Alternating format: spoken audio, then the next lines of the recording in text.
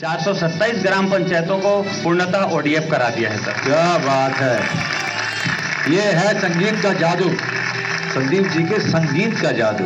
कुछ सुनाइए ना कुछ बढ़िया वाला। कुछ छत्तीसगढ़ी में भी आप सुना सकते हो कोई दिक्कत नहीं है। जैसे सर हम वहाँ की जो ट्रेडिशनल लैंग्वेज है हाँ, हाँ। छत्तीसगढ़ी हम्म। उसमें कुछ सुनाता हूँ स्वच्छता गीत। हाय रे हाय रे हाय जमो गाँव नाचे। अलथी का लथी अलथी का लथी अलथी अलथी का लथी मदर बाजे आए जमो गाँव नाचे। खुले में शौच मुक्त गाँव है बनाना। खुले में शौच मुक्त गाँव है बनाना। स्वच्छता के नारा ला सबो मिल गाना आए जमो गाँव नाचे। अलथी का लथी अलथी का लथी अलथी अलथी का लथी मदर बाजे। आए जमो गाँव नाचे। गांधी जी के सपना ला पूरा करना है। हम शौचालय के उपयोग करना है। गांधी जी के सपना ला पूरा करना है। हम शौचालय के उपयोग करना है। आए जमो गाँव नाचे।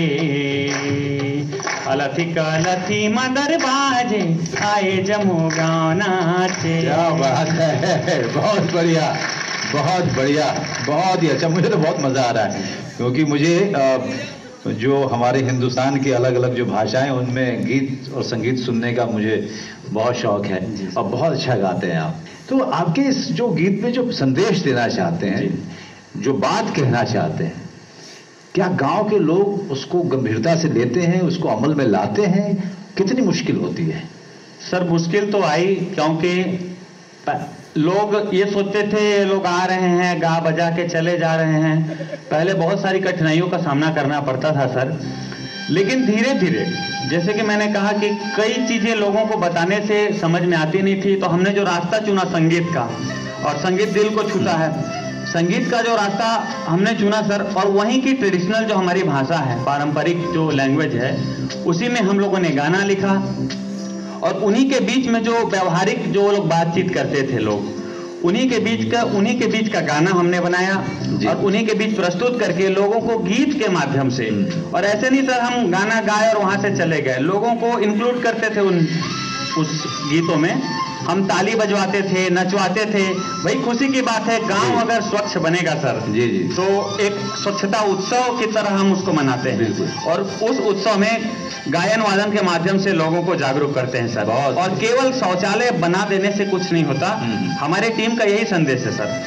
स्वच्छता केवल शौचालय बनाने से पूरी नहीं होती है सर। उसका स्थायित्व तो बनाए रखना। हम्म, हम्म।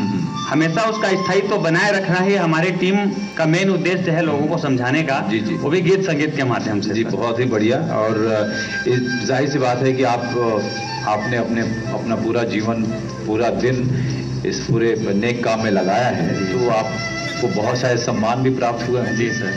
जरा लोगों को बताइए ताकि उनका उत्साह बढ़ेगा।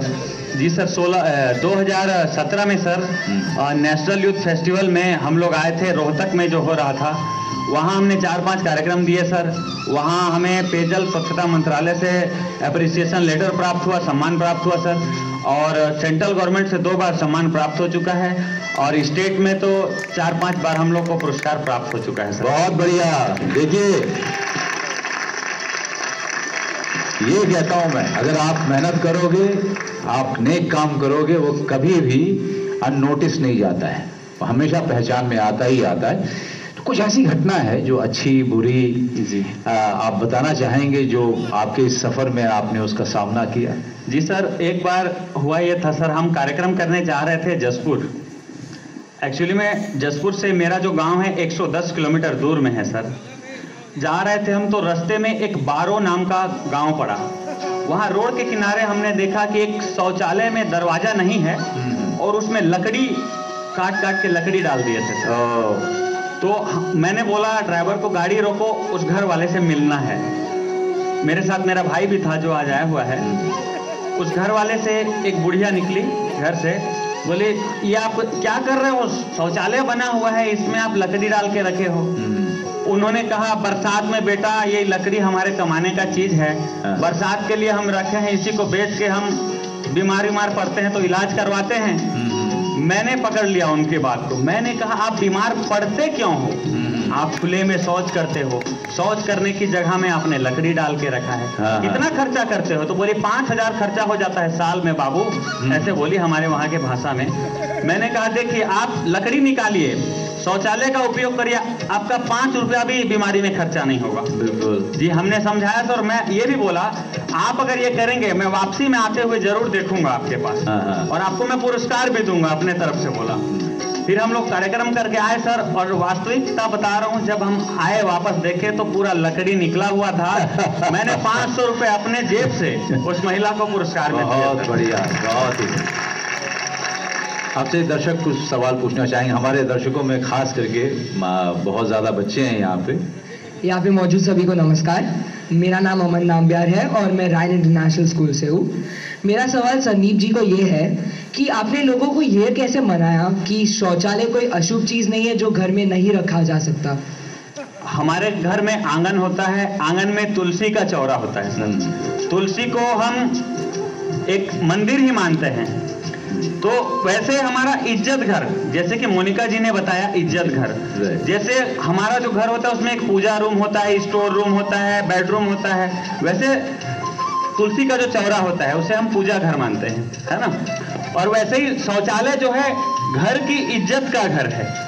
ये बता के हमने गाँव के लोगों को समझाया हम्म। कि देखिए आप केवल शौचालय आप बना दिए उसमें आप लकड़ी डाल दिए कंडा डाल दिए उससे स्वच्छता नहीं आती। बिल्कुल। स्वच्छता आएगी आपके बराबर उपयोग करने से। बिल्कुल। शौचालय का नियमित उपयोग होना चाहिए। जी। बहुत बढ़िया। और कोई?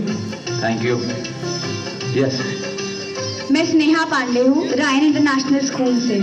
मेरा प्रश्न यह है कि सरकार ने कई गाँवों में, कई पिछड़े गाँवों में शौचालय बनवा दिए हैं। लेकिन वहाँ पानी की सुविधा नहीं है तो उस बारे में हम क्या कर सकते हैं? देखिए, पानी की जो बात है, हमारा जो क्षेत्र है, छत्तीसगढ़, वहाँ पानी की इतनी दिक्कत है नहीं, है ना? जहाँ भी पानी तो देखिए, अगर हम खुले में जो करते हैं जैसे मान के चलिए नदी में हम शौच करने गए। नदी में के वहाँ तो हम पूरा पानी गंदा कर रहे हैं सर। पूरा पानी गंदा हो रहा है जब हम शौच को धोते हैं तो पूरा पानी गंदा होता है। लेकिन जब हम शौचालय का उपयोग करते हैं तो केवल एक लोटे पानी की आवश्यकता हमको पड़ती है। ठीक है तो पानी की तो मुझे नहीं लगता इतना मेजर प्रॉब्लम है और खासकर हमारे क्षेत्र में। जी। और कोई? हाँ पूछिए। नमस्कार, मैं मन शर्मा रायन इंटरनेशनल स्कूल से हूँ। मेरा सवाल ये था कि क्या आपको लगता है कि जो आपने गाँव में थोड़े छोटे स्तर पे किया, अगर आप वो एक बड़े स्तर पे करेंगे तो आपको एक बहुत बड़ा प्रभाव डालेंगे? जी, आप ठीक, आपने बहुत अच्छा प्रश्न किया। हम तो चाह रहे हैं हम स्वच्छता के लिए और कुछ अपने से कर सकें। हमारी इच्छा है कि हम आज यहाँ पहुँचे और ऊपर जाएँ। स्वच्छता के लिए देखिए, हमारा फ़र्ज़ क्या बनता है? हम एक भारतवासी हैं। हमारा फ़र्ज़ बनता है कि हमारा भी देश स्वच्छ हो। हमारे देश में कोई विदेश से आए तो कहे, अरे वाह, इंडिया तो कितना स्वच्छ देश है। बूंद बूंद से ही घड़ा भरता है। जशपुर में इन्होंने शुरू किया, मोनिका जी ने अपने क्षेत्र में, अपने इलाके में शुरू किया। ये प्रोग्राम देखने के बाद आपके जैसे बहुत सारे लोग खड़े होंगे जो इसके बारे में अवेयरनेस फैलेगी बहुत सारे लोग और शामिल होंगे अपने अपने इलाके में अपने समाज के बारे में सोचेंगे। तो ये अभियान एक से दूसरे तक जाता ही जाता है वो रुकता नहीं है। है ना? अब मैं चाहूँगा कि हमारे टीम के सदस्य आए और संदीप शर्मा जी का सम्मान करें।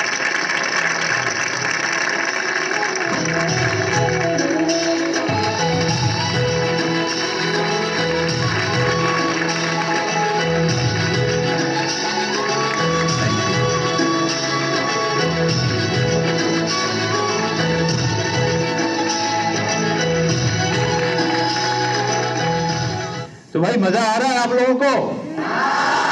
ये बात हुई तो आइए, हमारे एक अति विशिष्ट गेस्ट हमें स्वच्छता पे एक संदेश दे रहे हैं।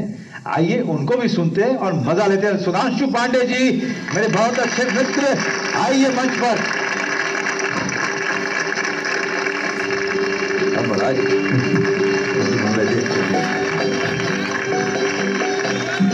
आपसे हम क्योंकि आप तो मुंबई शहर में रहते हैं जी। वैसे तो आप देहरादून के रहने वाले जहाँ तक नैनीताल। नैनीताल के रहने वाले पहाड़ी आदमी उत्तराखंड। और ये भी गाना गाते हैं सुधांशु आप बताएँगे कि आप इस पूरे मुहिम से कित, कितने इंस्पायर्ड हैं कित, कितने उत्साहित हैं इस स्वच्छता के पूरे अभियान को लेके जो हमारी सरकार ने ये अभियान शुरू किया था स्वच्छ भारत अभियान उस समय तक हमने भी नहीं सोचा था कि ये हमारे देश की इतनी बड़ी ज़रूरत है या हो सकती है?